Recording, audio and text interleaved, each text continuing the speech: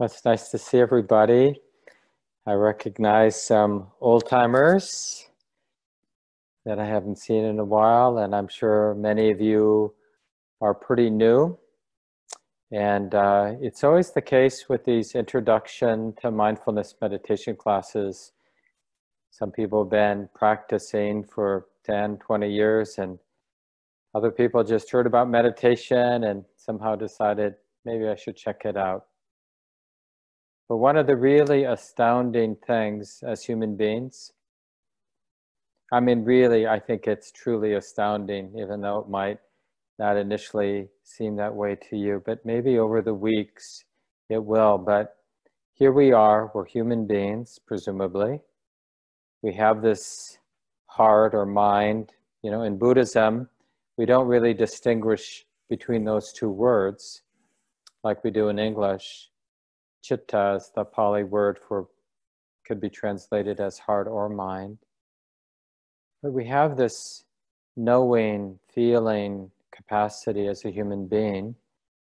And as we lived our lives, you know, for a long time, many of us, just imagine how much actual time we've spent being interested directly, immediately interested in noticing, observing, paying attention to the heart, to the mind. Here it is the mind is doing what the mind does, the heart is doing what the heart does. But the when we reflect, honestly reflect how much curiosity we've had about our mind, about our heart, it's surprisingly limited. And yet, clearly, the fact that there is a mind, there is a heart, and its nature is relevant. it's so relevant to being a human being. And yet, we've been so strangely incurious about it.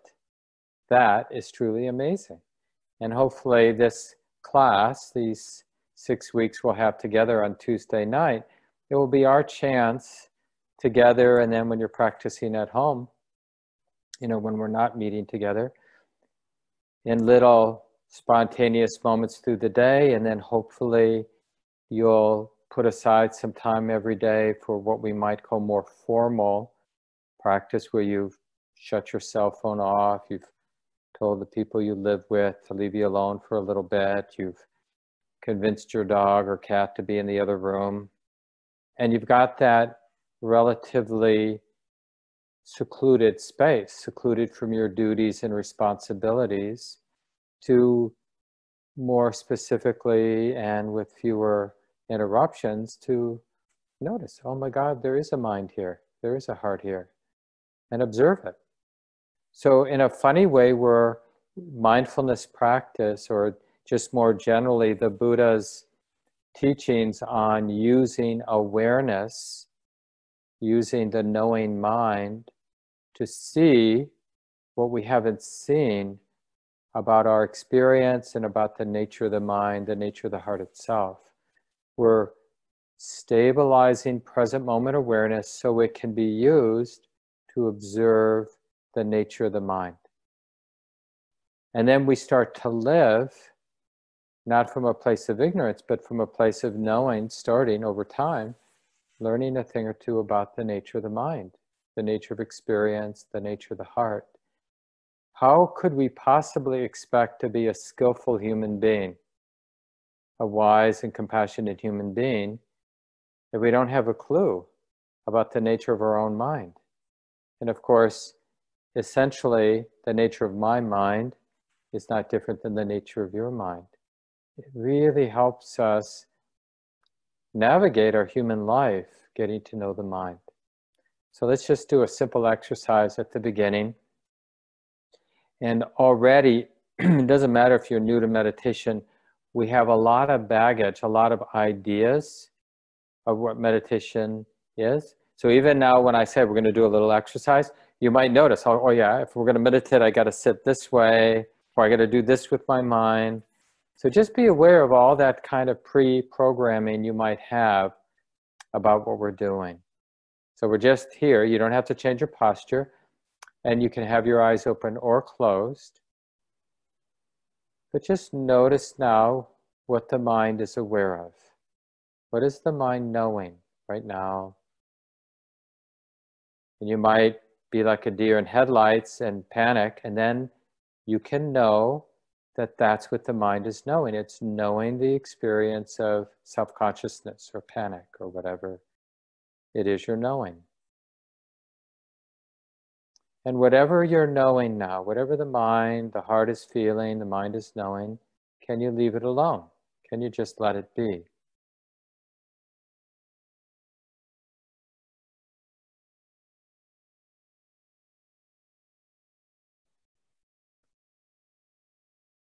Can you know now? So now we're directing the attention. Can you know the sensations relatively subtle at the top of the head? So if you have a lot of hair, you might feel some weight of the hair. If you don't have any hair at the top of your head, you might feel the temperature of the air that's making contact. You might feel some pressure under the skull, the quality of vibration. Can you feel the ears just as they are? And you don't need to get tight. There's no tension required. It's more about opening to the ears. Maybe they're a little warm, maybe they're a little cool. Can you feel sensations at the brow, the forehead?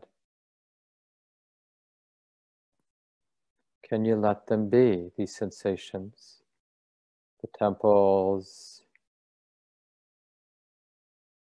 Feel the jaw, the muscles of the jaw. Sense the wetness of the mouth.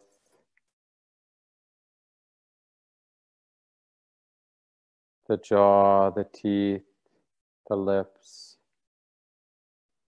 Are the lips open or closed, dry or wet?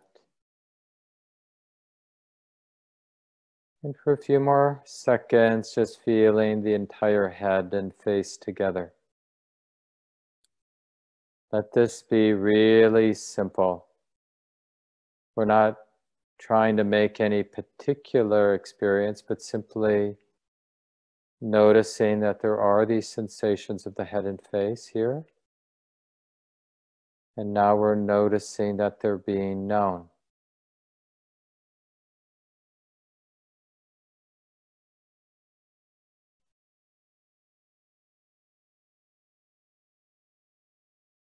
So, in a sense, if we languaged it, we'd say, the mind is aware of the sensations throughout the head.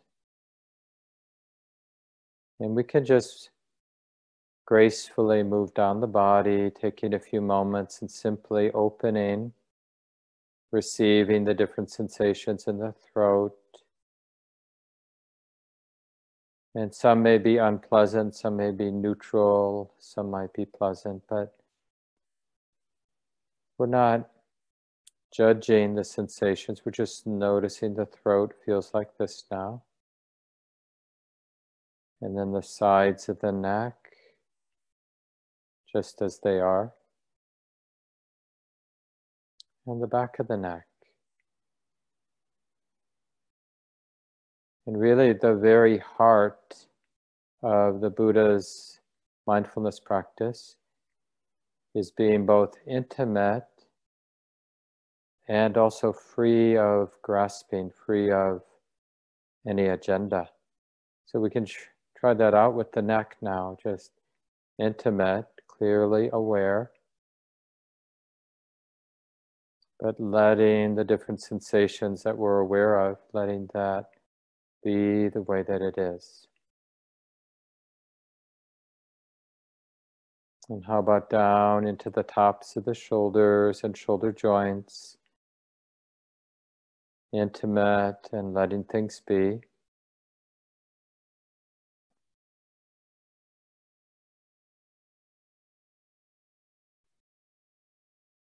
And how about down both arms. So perhaps feel the blouse, the shirt, making contact with the skin of the biceps. Feel the underarms. Feel the sensations of the bend of the elbows. Feel the air maybe touching the back of the hands. Notice the different places of contact, hands where they're touching, arms where they're touching. So again, just this very beautiful, simple training of being intimate with the arms and hands. And at the same time, just allowing the sensations to be, to come and go, non grasping, we call it or non attachment. And initially, it might seem paradoxical to be intimate, usually goes along with being having an agenda, but how about being aware, being alert, being intimate, but without any agenda with the arms and hands? Instead, just letting things be.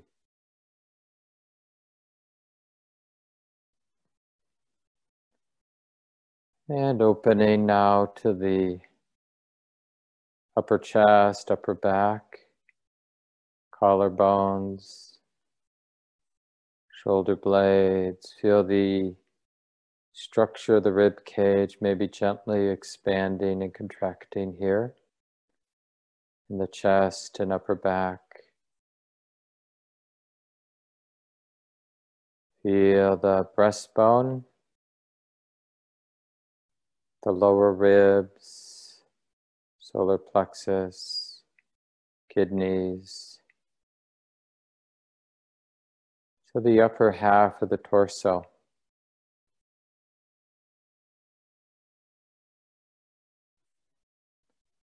And you notice the thing about mindfulness, it's, it really has a generous quality, a generous awareness, really fully showing up in this case to the upper torso, just as it is, no agenda.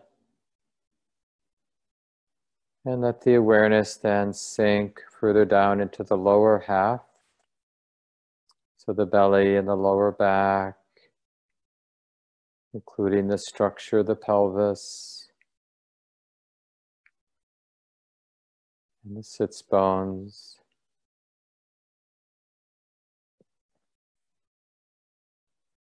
Again, just that simple practice, learning how to be both intimate and allowing these sensations to be what they are. Even if there's some tension, we give that permission to be the way it is. So from the hip sockets there, begin to feel both thighs Again, notice the obvious touch points. And then feeling the bend of the knees, whatever that's like. The shins, the calves.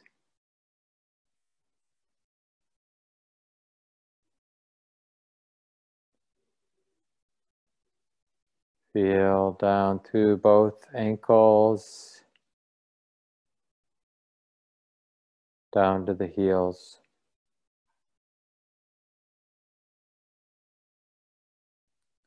And the sides and tops of the feet.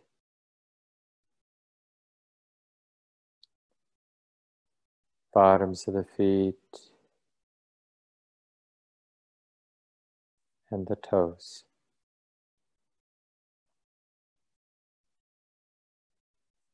We'll take a few more moments as we Learn how to be intimate, learn how to be aware of the sensations in the legs and feet. And just allowing everything to be the way it is. Not needing the legs and feet to be different. And then the whole body together now. And this is an interesting thing about mindful awareness. The object can be very specific, or the object can be very inclusive, like now the entirety of the whole body. We're not favoring any sensation over another. Everything belongs intimate with the whole body and letting it be.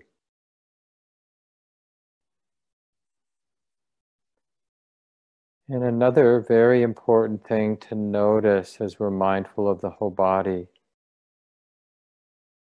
Notice the particular effort you need to be aware, to be intimate with the whole body. It's not a tight kind of effort. It's more just the effort to remember there are these sensations now coming and going.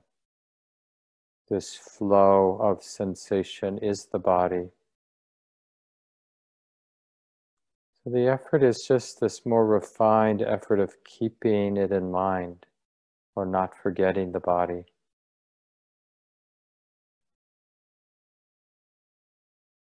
Not that much work to be aware of the body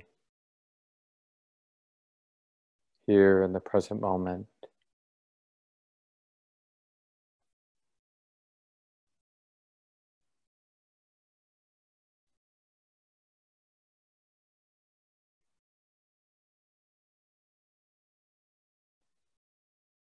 Now, here's an interesting question before we end just sitting here aware of the body. Is there a way to stop being aware? Just check. An off button.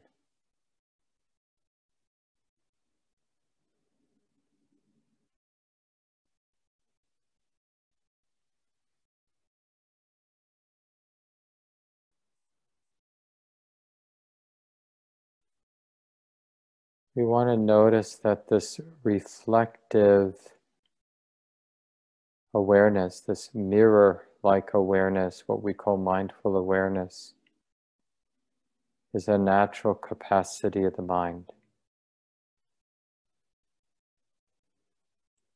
We might imagine that I have to be mindful, but it's much more I'm recognizing that there is mindfulness. There is this reflective knowing, oh, it's like this now. Sitting, the sensations of the sitting body are like this.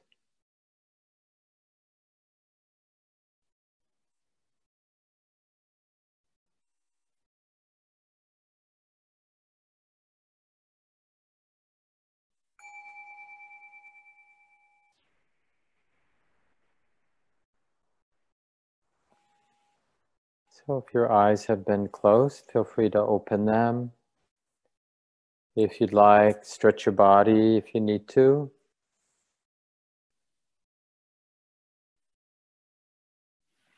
So again, it's really nice to be with everybody. I know some of you, but a lot of you I probably don't know, haven't met.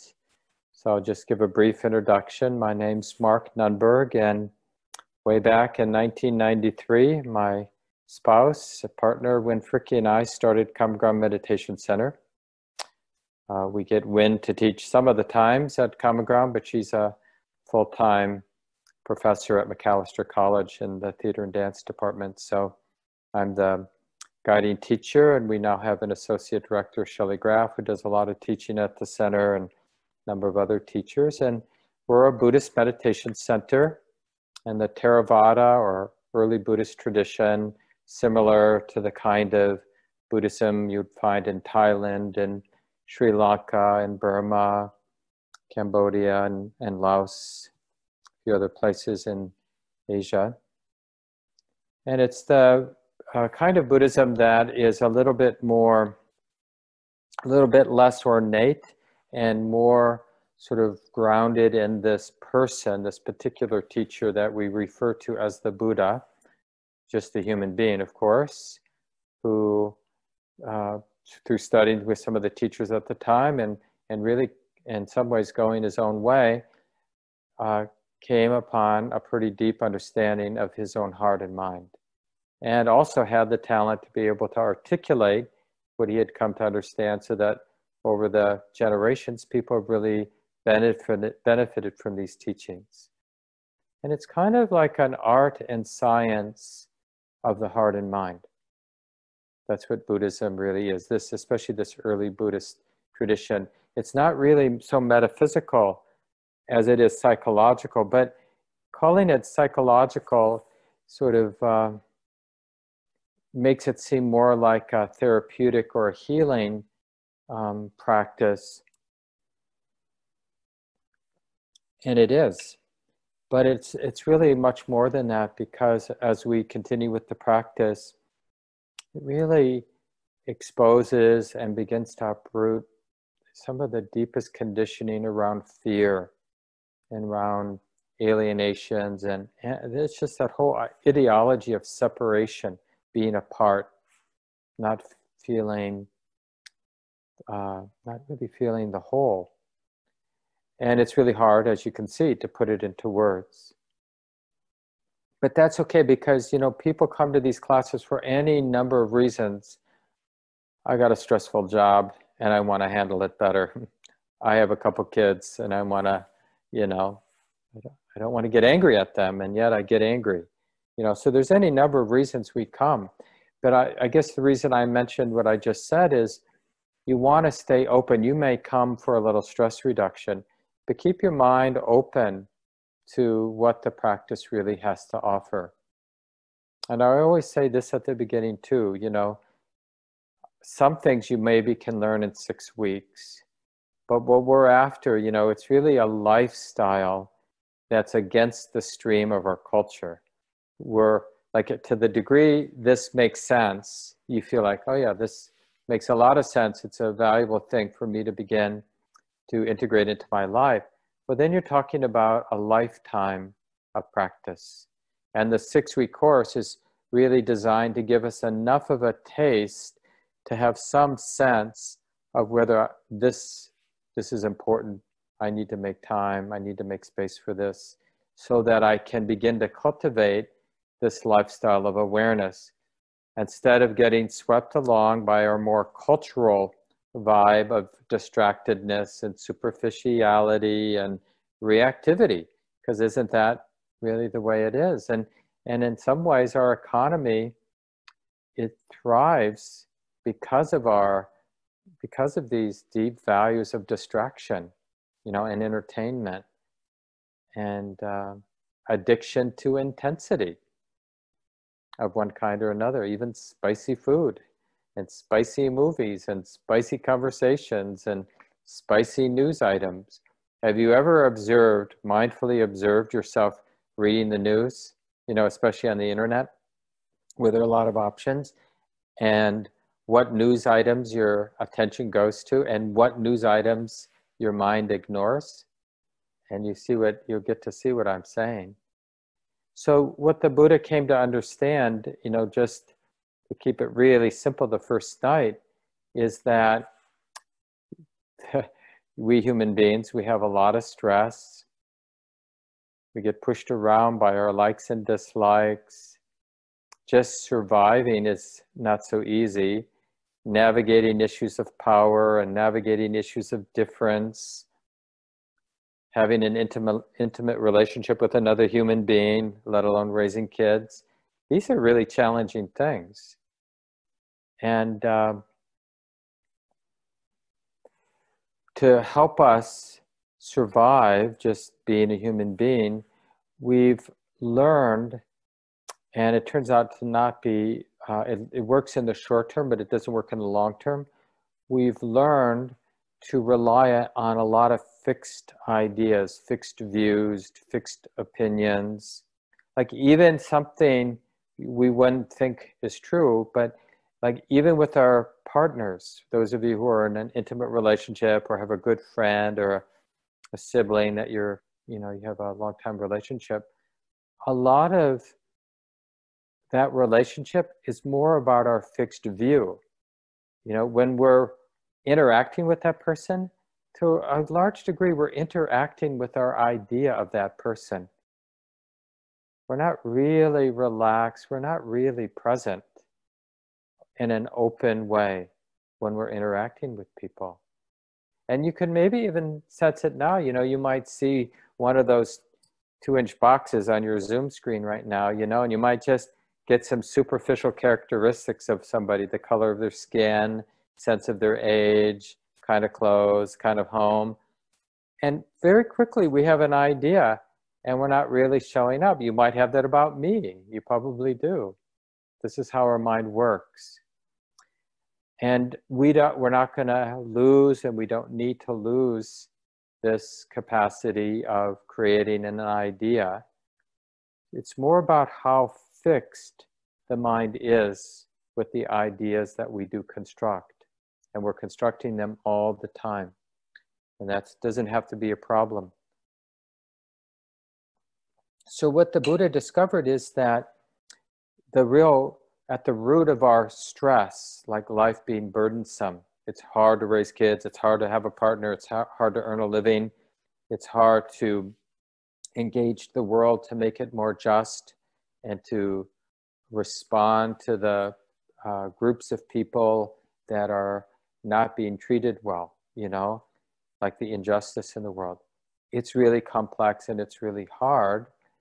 And when we really look, the root of these problems is this habit of fixing on ideas. And the root of that tendency to fix has to do with a particular idea that in Buddhism we call selfing, you know, self centeredness. But we can't think our way out of the habit of being self centered.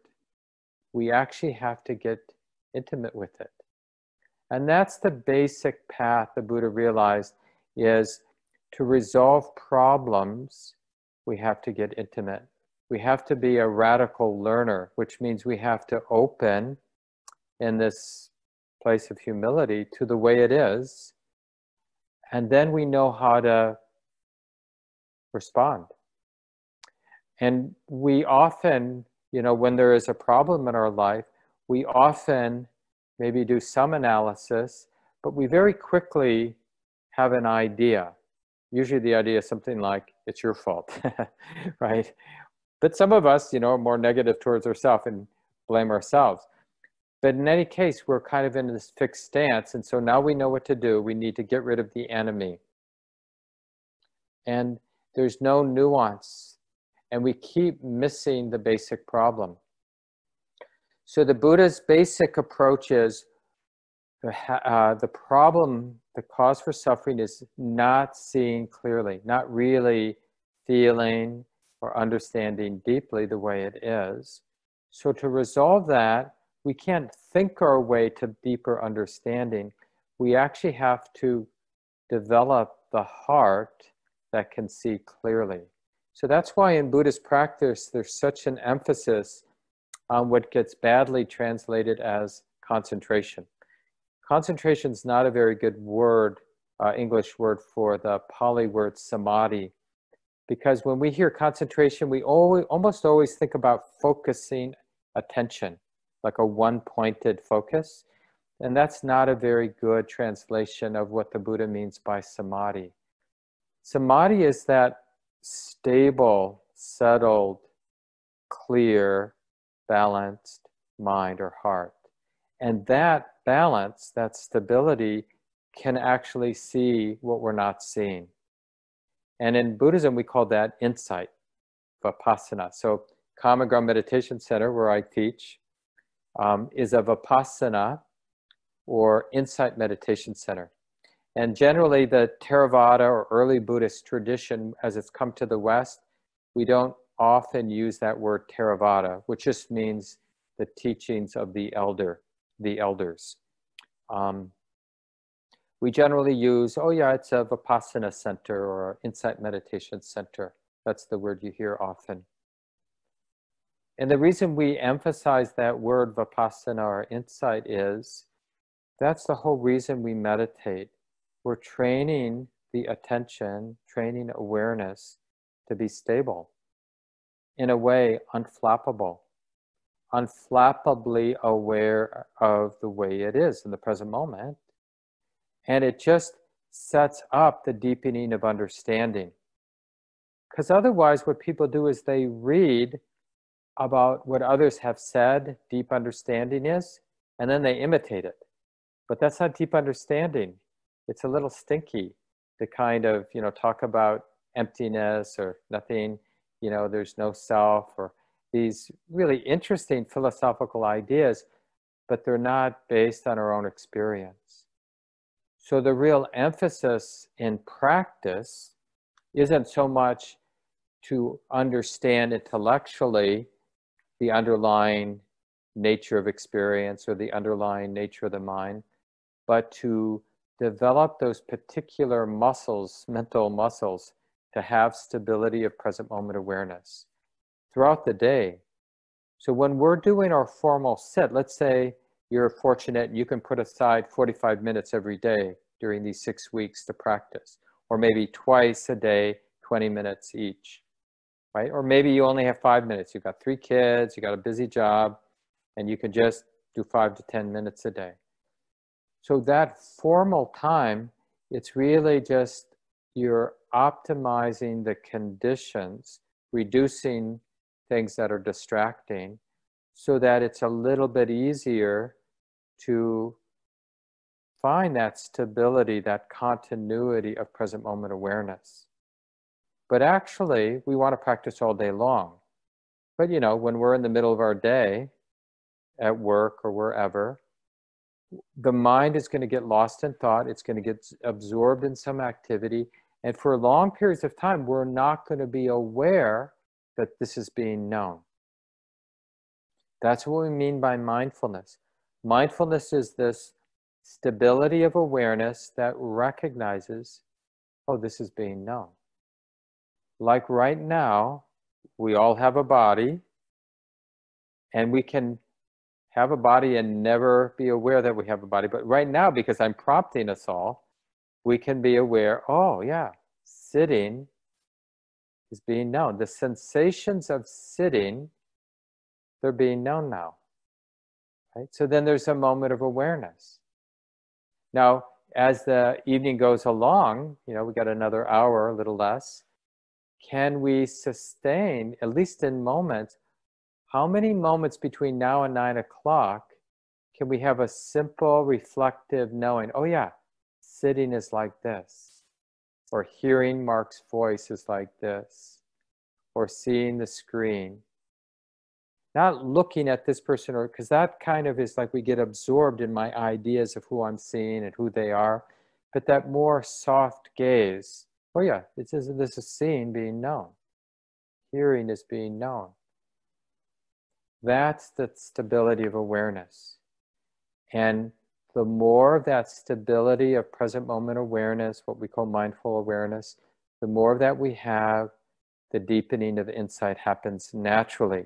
You can't actually stop the deepening of understanding, the deepening of wisdom the more you have the continuity of present moment awareness. And the, the important thing to remember is we can't go directly to becoming a wiser person. Wisdom, real wisdom, real human wisdom in terms of understanding our heart and the heart, understanding the nature of experience, and in particular, understanding how suffering, how stress arises, and how it ceases it arises naturally from only one source the continuity of present moment awareness. Anybody you've bumped into in your life that seemed to have a lot of natural, grounded wisdom, that wisdom that you sensed in that person could only come from this way. Try getting wise any other way. I don't think it works. And that was certainly the Buddha's take on it, on the issue too in fact, there's a story I just we mentioned in a, I was doing the Common Grounds Buddhist Studies program last night, and uh, there's a famous story right the night before the Buddha died. there was a, a wanderer seeking teachings, you know, and the Buddha was under a tree, kind of out, you know, in the woods near a town, and he was uh, supported there with some of his longtime students.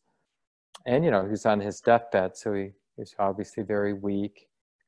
He's 80 years old, uh, on top of being really sick. And this wanderer shows up, the seeker shows up looking for the Buddha because he has some questions. And they try to send him away, but he was persistent. And then the Buddha overheard and said, Okay, send, I'll, I'll talk to him, I'll give him some teachings. And it's just really sweet little story, you know, there on the deathbed. And the person was just wondering, you know, he, he, the question was sort of this, you know, a lot of, I met a lot of powerful teachers in my day, and they all tell me they know the answer. And so now he's asking the Buddha, how do I know who I should listen to? And so the Buddha sort of rejected. He said, listen, don't worry about that question. I'll tell you what you need to know and basically said, you know, in so many words, that anybody who's cultivating the continuity of present moment awareness, the stability of present moment awareness, and their their teachings are really based on this turning the awareness toward the heart and mind itself, they're going to develop liberating wisdom. And anybody who's not doing that isn't going to develop liberating wisdom. And it doesn't matter how they talk about it, it just matters whether you do the work. If you live a life of distraction, not being aware of what's happening here, we can repeat, do, do the same thing we've done before, get the same results. we we can be trapped in repeated cycles forever. Isn't that true? We know people who keep doing the same thing, getting the same results because they haven't found the supports or the instructions or the incentives to become mindfully aware. Now, just imagine we had some really, you know, unwholesome habit. I mean, could we continue to be a jerk if we had this very clear present moment awareness, seeing it in living color as we were being judgmental, as we were being hurtful, or as we were repeating some harmful addictive behavior. If we saw it and felt it as it actually was, moment by moment, it's really hard to continue acting in unwholesome ways when we're really clear. But we're, when we're oblivious, we can continue unwholesome patterns forever because we're oblivious. And this is the basic premise of the practice is realizing that there's stress in my life and that I cause other people to be tight and stressful and plant seeds of suffering all around. And sensing, as the Buddha instructs us, that the root of that unskillfulness is something going on in my heart and mind that I'm not seeing clearly.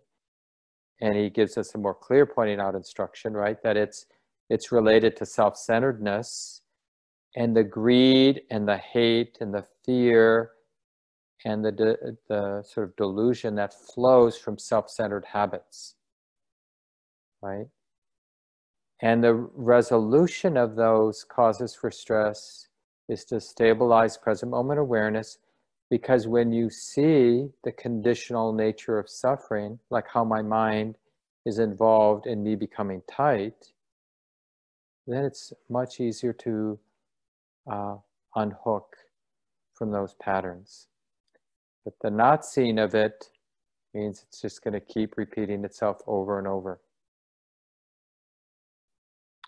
So the, the last thing I want to say before we do some more practice, we'll do a little stretch and then and do a little bit more practice.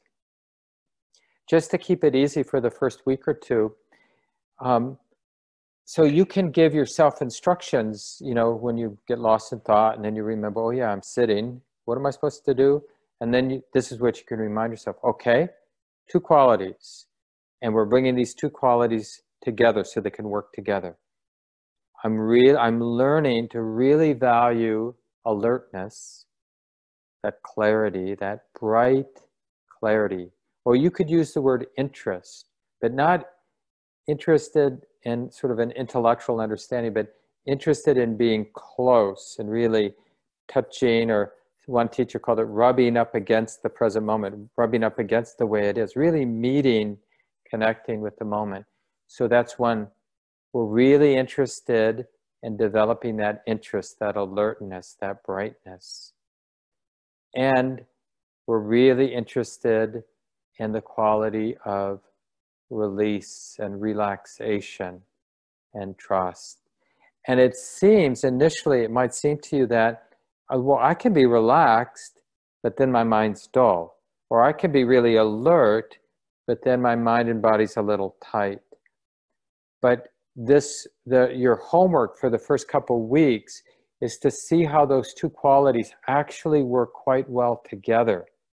That the relaxation really supports the clarity and seeing clearly. And the seeing clearly and the clarity and the alertness really supports relaxation, right? Because it sees how the body and mind is holding in ways that it doesn't need to hold. Oh, I can relax. I can open. I can soften. And I, I kind of uh, mentioned that in the guided meditation we did earlier when I was talking about effort, like when we were feeling the whole body, and I prompted you all, like, how much effort is needed to remain aware of the whole body? So that's that soft relaxation. It's like keeping the body in mind, being interested in the sensations of the body doesn't require tension. It requires remembering. It requires interest. It requires alertness. That alertness is not the same as tightness, in the same way that relaxation is not the same as dullness. But we often associate relaxation with dullness, just like we often associate clarity with tension. That's why concentration isn't a good translation for the word samadhi, because for most of us, when we hear that word concentration, we think we gotta, you know, we even scrunch our face like I'm concentrated, but that's not concentration. That's being tight, you know. And when we're tight, we don't see clearly. You can't really be alert when you're tight. You can pay kind of attention when you're tight, but the tightness actually gets in the way of being intimate and seeing things as they actually are. So again, that's all you really need to remember I'll, I'll go through a more formal instruction of mindfulness of breathing in just a moment. But in terms of reorienting yourself when you get distracted or lost in thought, just bring those two qualities to mind. Okay, Mark mentioned relaxation and alertness. I've got the present moment, whatever I'm feeling in my body, whatever I'm hearing, whatever mental activity there might be, emotional activity. Can I be alert and relaxed. Alertness does not mean controlling the experiment, experience, it just means being interested. Relaxation doesn't mean ignoring, it just means being soft, not tight. And so, whatever's predominant, just meet it with alert and relaxed presence. That's how we relate to distractions. Alert, clear, oh yeah, this is being known, and relaxed. Can this be okay? Yeah, sometimes it's like this alert and relaxed. And then come back to what we call the anchor. So uh, I'll talk about the anchor during the guided meditation, but maybe just take a moment and feel free to stand and uh, but not more than a minute or two and uh, stretch a little bit and then we'll sit it in a comfortable way when you're ready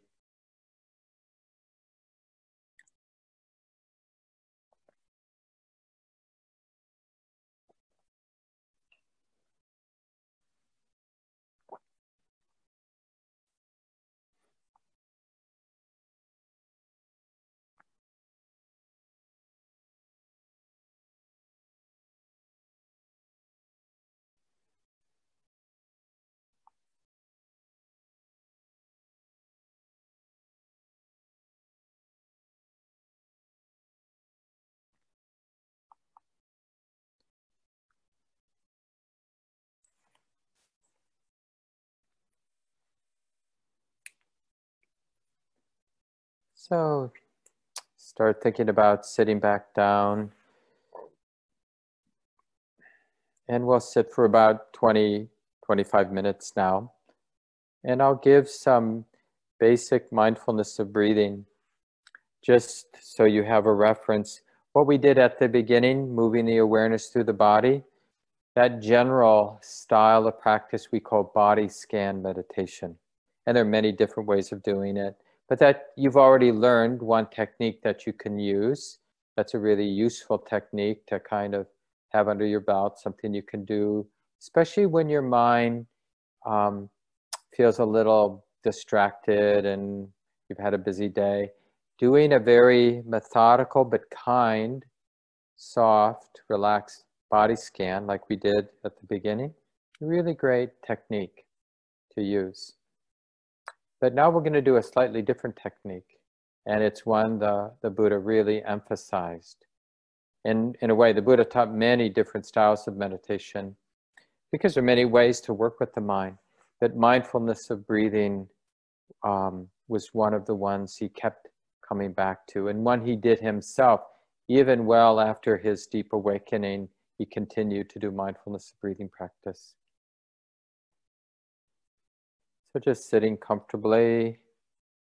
It does help to hold the body still, but not in a way that requires tightness. So if you need to move at some point, just make those gentle movements with awareness. But to the degree you can, after you've made your last adjustments, just settle into a relative stillness. And I'll talk more about posture next week, but if you can, appreciating the alignment of the spine without being tight, and inviting whatever muscles can soften and relax to do that. And it can be a nice ritual at the beginning of a sit to breathe in, filling the lungs, exhale slowly, emptying the lungs, and to do that maybe three to five times. But really slow it down and do it in a relaxed way where you're filling and then emptying the lungs in a very long and easy way.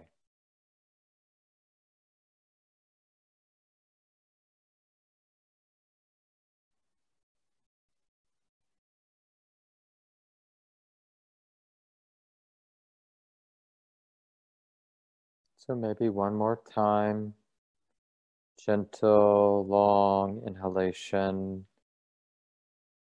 followed by a gentle and long exhalation.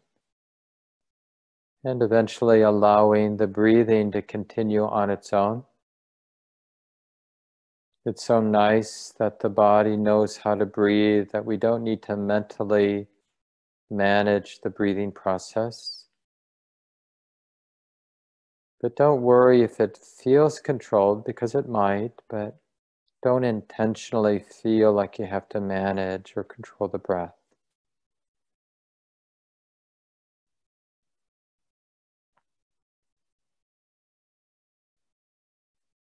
And beginning by feeling the whole body sitting, sitting sensations are being known.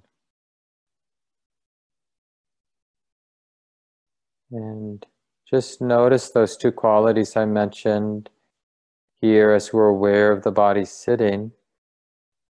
Notice that clarity, that alertness or interest, and how it works well with being relaxed and just allowing things to be.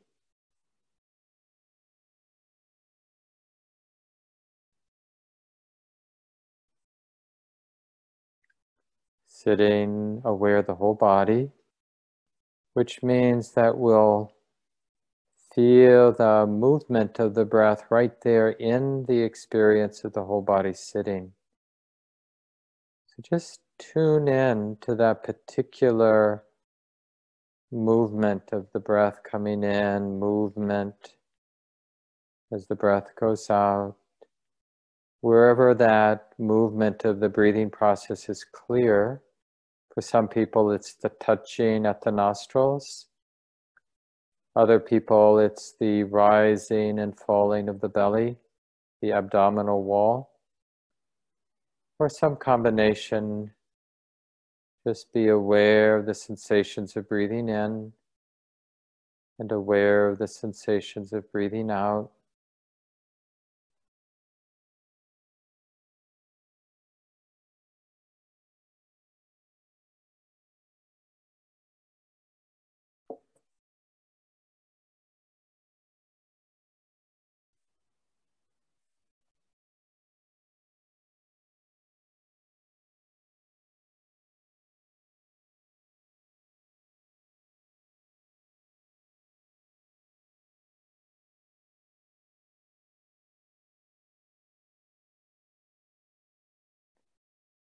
And using this very beautiful interest, see if you can connect with the beginning of an in breath.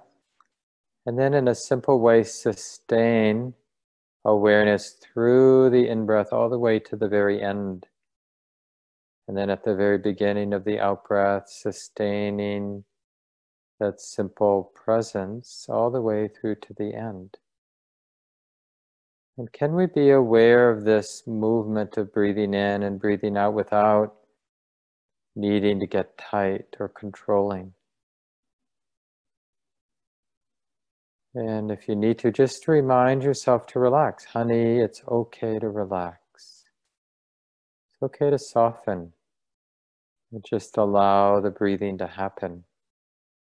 Even if it feels controlled or rough, Trust that the body knows how to breathe.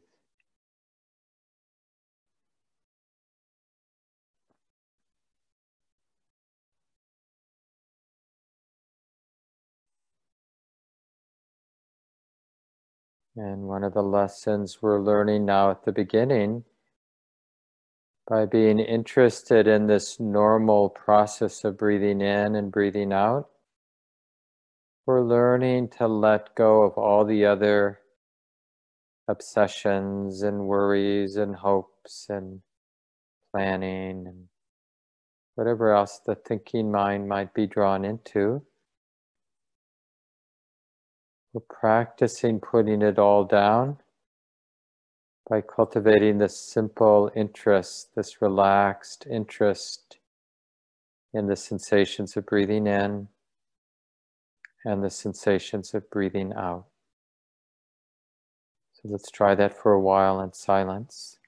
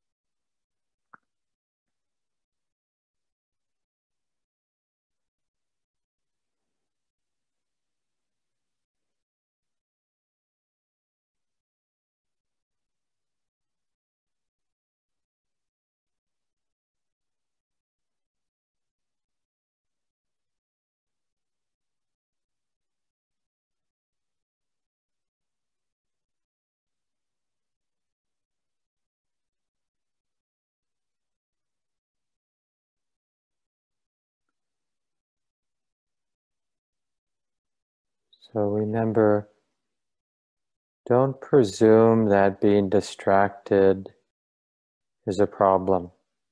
When you notice that your mind is caught up in some thinking or irritated by some pain in the body or whatever it might be, then that's the time to remember those two qualities.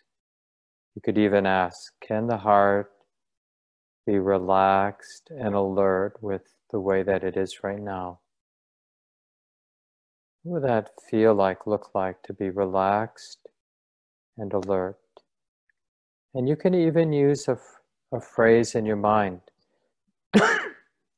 you could say, Oh, it's like this now. This is being known. And now those words are really coming from this relaxed and clear contact with the way it is right now. Oh, it's like this. This experience of the mind, the planning mind is being known, or the worrying mind is being known. Feels like this. So it's important to acknowledge the distractions in a relaxed and alert way, a clear way.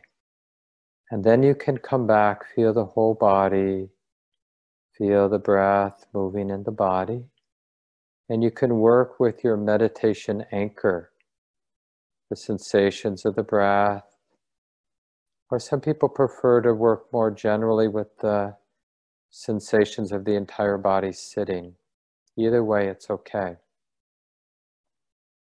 Specifically feeling the sensations of breathing in and breathing out, or more generally feeling the whole embodiment, the body sitting.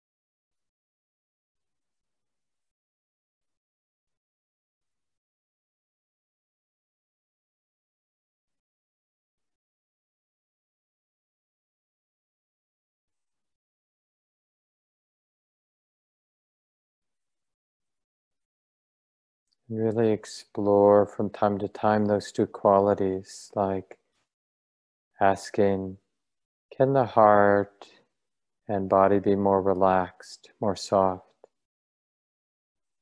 And another time asking the question, can the heart be more alert? Can the mind be more clear, more present, more interested?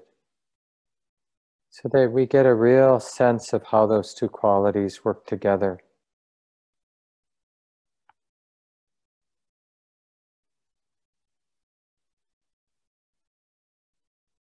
Some people even use the rhythm of the breath itself to remind themselves. So each time you breathe in, you can feel the breath coming in and let it be a reminder to be alert. And you can even repeat that word almost like a mantra. Could repeat the word alert or interested or bright, clear, clearly aware. Breathing in, seeing things as they are, clearly aware. Breathing out, relax, allow, let things be. So, in this kind of way, from time to time, when it's helpful, you can give yourself reminders. Use the in breath to remember to be clearly aware, and using the out breath to remember to relax and to allow, to soften.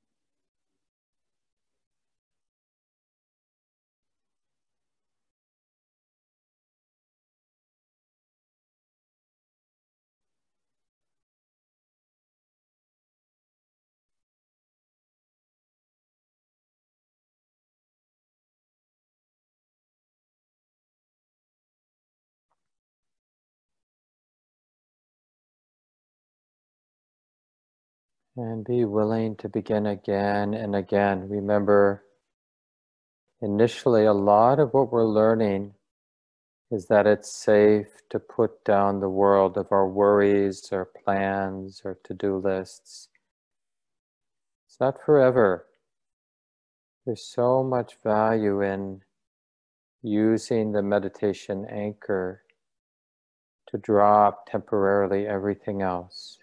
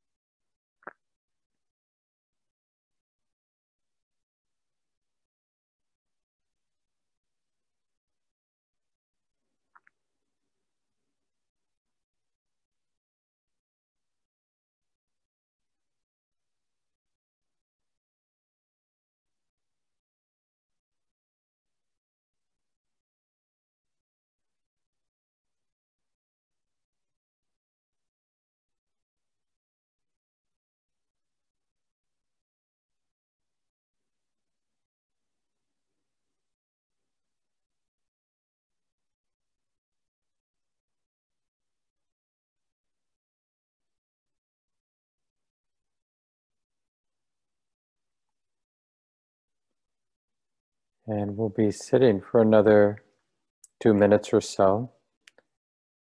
And why not, for these last two minutes, allow the eyes to open if they've been closed? And of course, we're not looking around, we're just gazing down, maybe toward the floor in front of us. Body is relaxed as best it can be. Sitting still for just a few more moments. And now let's let go of the meditation anchor of feeling the breath or feeling the body specifically and instead just notice whatever it is that's predominant, whatever it is that the mind is knowing. Including if there's any self consciousness, then in a relaxed and clear way, just acknowledging, oh, yeah, this is being known, being felt.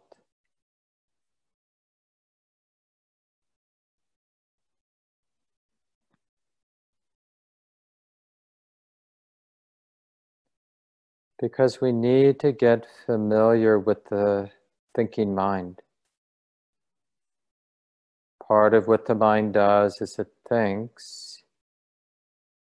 And it's possible to be mindfully aware that there is thinking. So we're not so thrown about or confused by the thinking.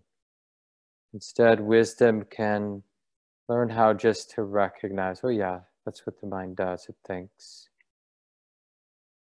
And often there's an emotional charge, sometimes subtle, sometimes not subtle at all, related to the thinking. Oh, yeah, that feels like this, the charge is like this.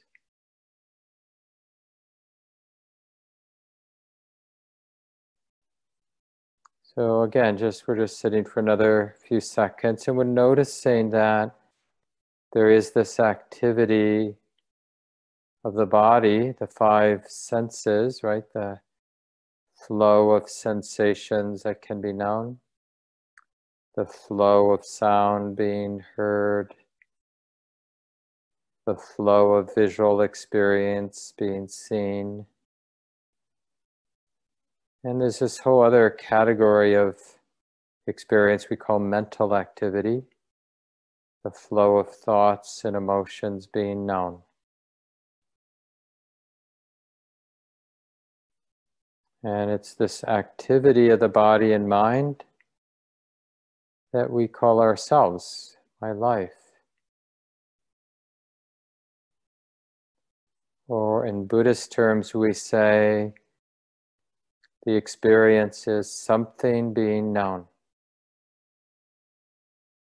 That's what it means to be alive. Something is being known or being felt, one moment after the next.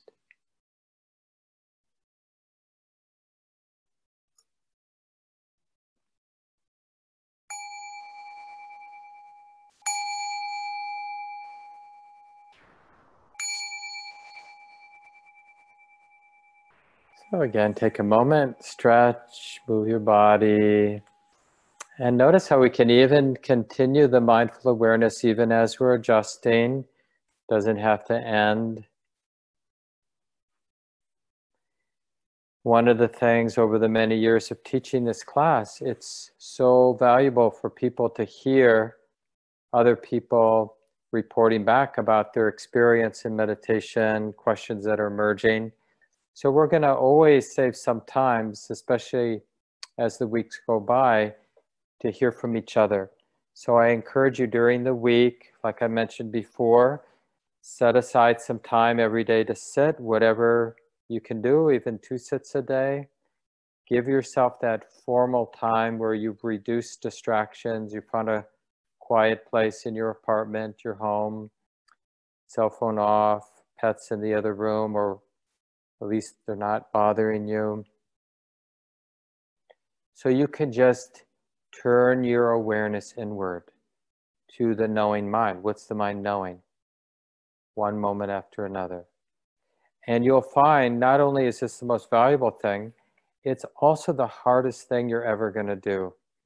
So I'm not trying to paint a pretty picture. It's not easy to cultivate mindful awareness. It's just really valuable to do it, even though it's hard. Because our, you know, part of it is just our animal conditioning to have our awareness go out into the world to see where our enemies are and our friends are, right?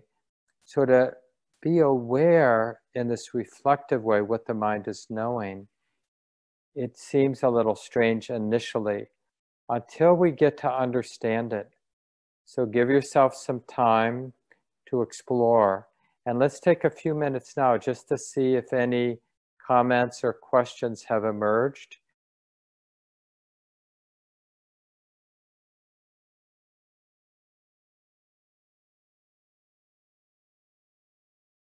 Thanks for sharing and getting the conversation going. And one of the things you said that's really important, and I often say it in one of the first weeks of the course, that it's really nice to have a pleasant sit where there's a lot of calmness and peace, but that doesn't mean you learned a lot. And as Shannon mentioned, some of the times when the sit was from hell, it was really hard to get to the end of the sit, but you ended up learning a lot. So you can't equate the pleasantness of a meditation period, as nice as it is to have a pleasant meditation, with learning. And ultimately, the learning is more valuable than having a pleasant sit. Now, we need some pleasant sits, otherwise, we're not going to do it. If it's always hard, it's really hard to stick with it. But if it's hard periodically, that's kind of normal. Um, and when we have difficult circumstances because we're feeling sick or the four big dogs and the parents are loud or whatever it might be, you know, if there's something you can do, of course, do it. But if you don't have any other options, then turn the difficulty into practice. And just remember those two qualities. What would it be to be alert, intimate, and relaxed with the conditions as it actually is for me? right? To be aware of the loud sounds in a relaxed and alert way. That will take us a long way along this path. Thanks for getting us started, Shannon. Who'd like to go next? What thoughts or questions come to mind?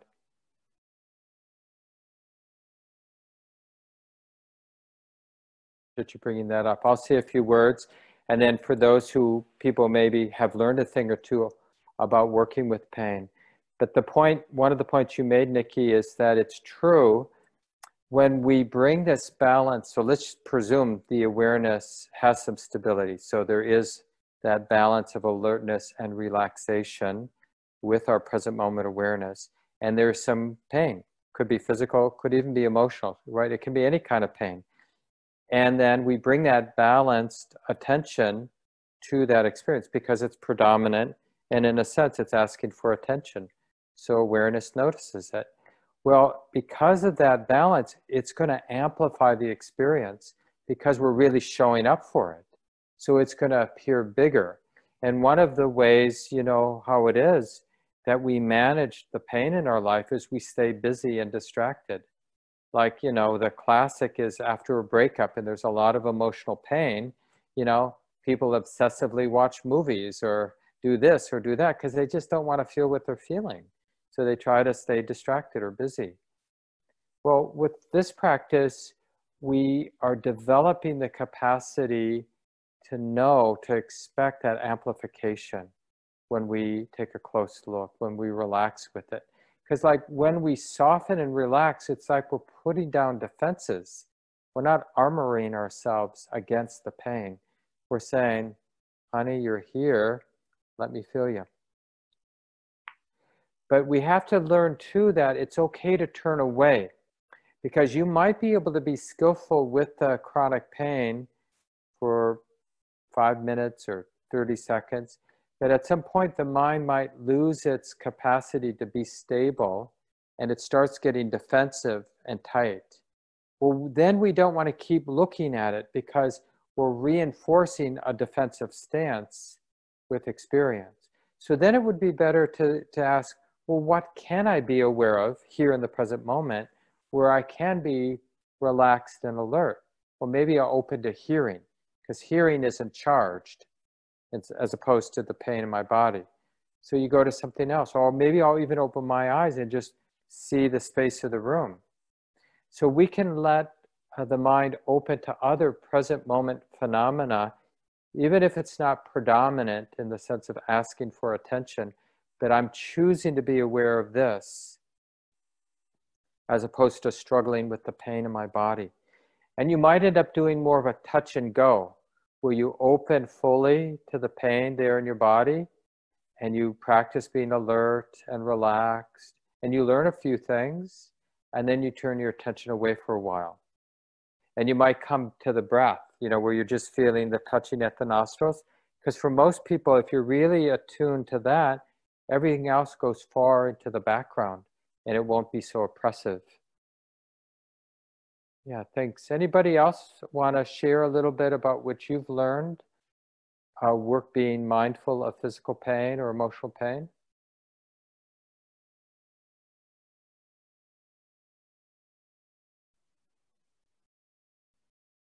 There's time for maybe one more question or comment, anything that feels relevant.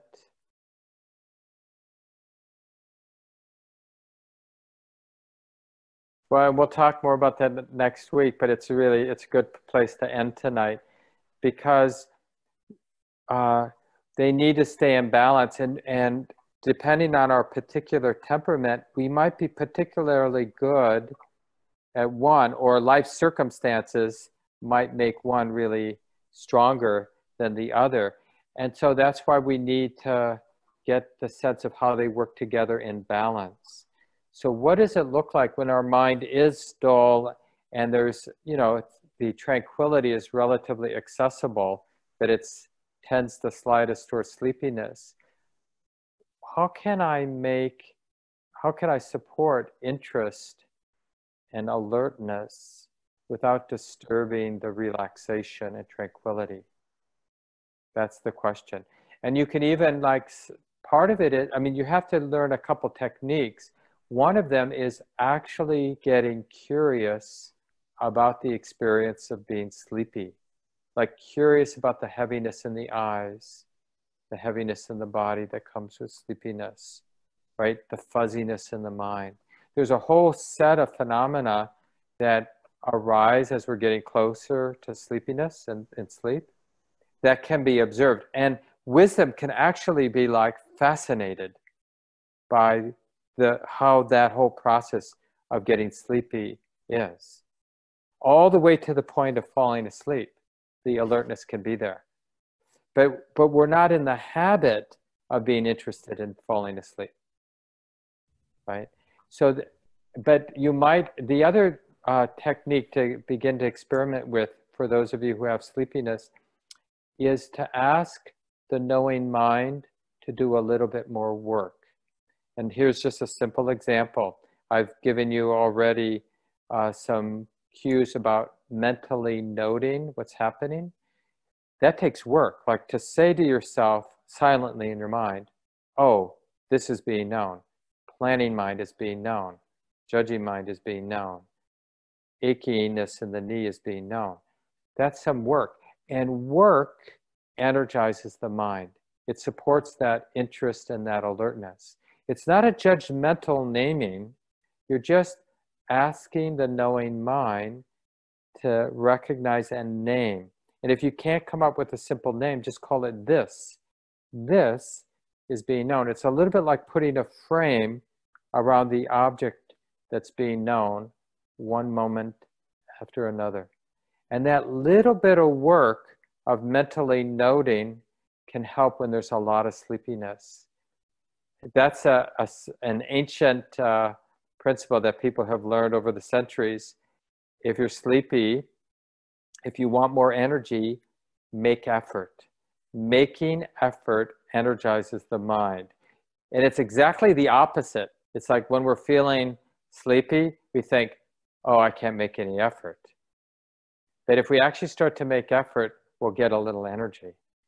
No, last thing, of course, if you're not getting enough sleep, you got to get more sleep because what mindfulness will reveal is, honey, I'm really sleepy. I need to go to bed. Well, go to bed. Get caught up because it's hard to do anything in life when we're sleep deprived. Well, it's nine o'clock, and I'm really good about starting on time and ending on time. Last thing I want to say is come next Tuesday, even if you really feel this is a good thing for you to be digging into, you might think of three or four other things you want to do on Tuesday night. So just be aware of that resistance or that not wanting to tune into Zoom. Maybe you've been on the computer all day, you don't want to do another hour and a half, and come anyway. Because you can just be aware of that resistance. Oh, resistance feels like this. Not wanting to turn the computer on is like this, and do it anyway. Really give yourself six weeks to check it out, see how it might make sense in your life. And it's been nice to get to know you. Remember, jot down any questions that come up. It will be time next week, and we probably will have even um, a small group. I can divide you into small groups so you, everybody can share a little bit about what you're learning. We'll do that for maybe 10 minutes um, at some point uh, next week. And wishing you a good week of practice, everyone. Hope to see you next Tuesday night. Take care of yourselves.